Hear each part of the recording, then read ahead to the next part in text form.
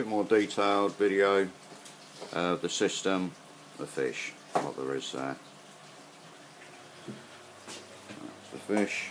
These are Onyx Picassos, uh, from 6 months to 14 months old now. There's all grades in there, 258 of them.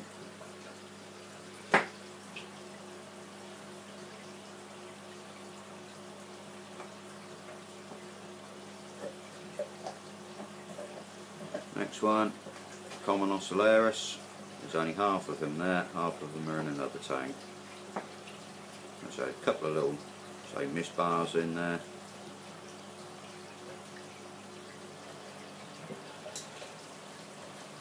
There's your Picassos, all grades, A, B, C's.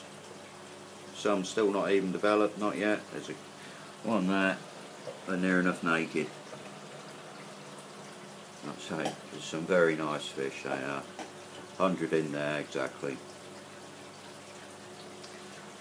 Snowflakes, 50 snowflakes and 36 commons what come from the snowflakes as well. Right, the systems themselves, each one's 200 litres. Sectioned off so you've got 100 litres for each tank. Three foot. Right, they run off their own sump. I'll show you on this end one. So water comes in, there's 32 mil drain. You don't have to use that drain, you can have a put a cap on the top of that so it just runs through these filter sponges and pump back air via an air pump.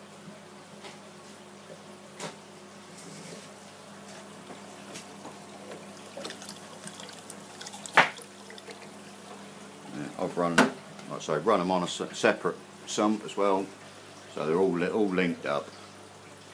Six, about 60 kilogram of live rock, uh, power heads. This sump's got auto top up. TMC UV. There's a pump in there that runs to the UV over to the algae scrubber. Algae scrubbers, red LED light, 27 watt. Stops you getting any algae in your display tank. Bio balls, filter sock, uh, 500 watt digital heater, Hanna 2 point pH meter, Bubble Magus phosphate reactor, Bubble Magus curve 7, return pump, Jebao DC 12000 return pump. In the corner there that is a 60 litre minute air pump it's only 35 watt which is very economical. Um, LED lights, strip lights that's all, all they require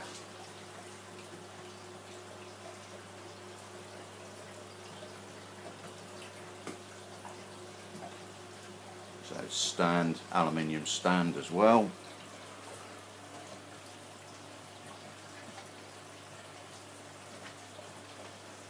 This system, similar to the last system you had, but I've drilled these tanks. 32 mil pipe, all linked up.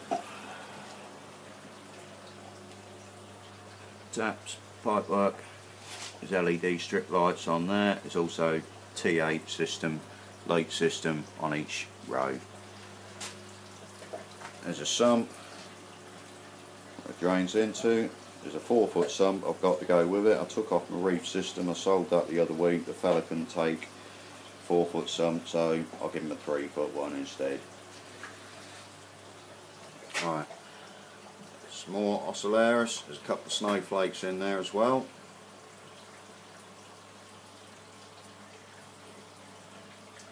It's microscopes, uh, used for your roticultures. I've got that big tub outside, thousand gallon tub.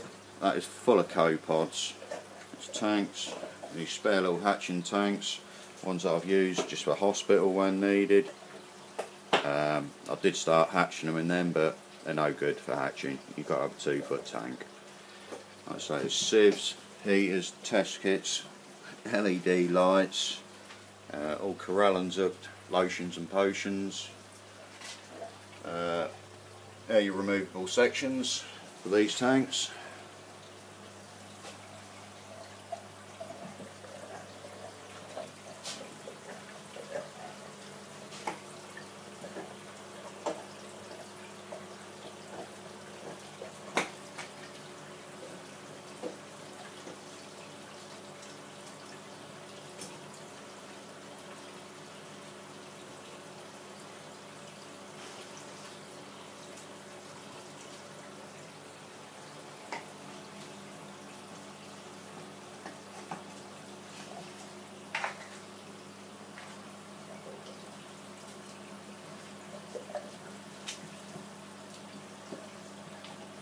Right, uh, there's a butts there, storing your water.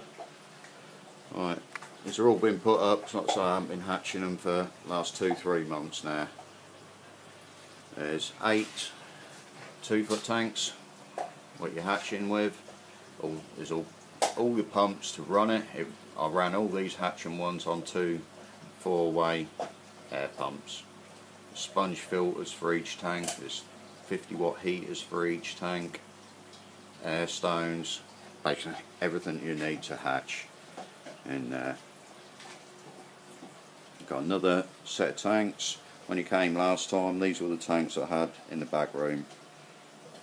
Okay, I've, like I say, I've changed them over, I've drilled the tanks. So that's a four foot one there, and a three foot one. Um,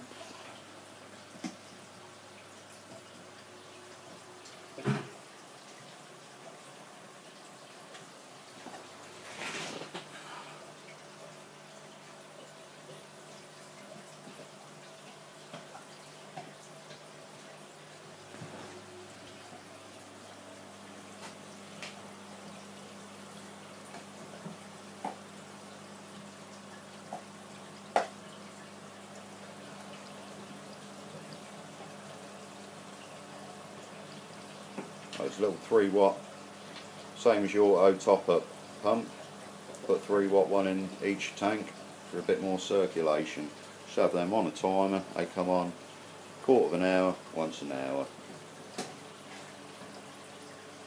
So all your thermometers, temperatures,